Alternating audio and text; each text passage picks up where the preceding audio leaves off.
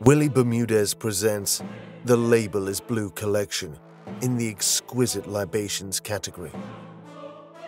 Inspired by the master whiskey blending of John Walker from Scotland in 1805, Johnnie Walker Blue Label became a premium blended Scotch whiskey and celebrated for its rarity and expert craftsmanship.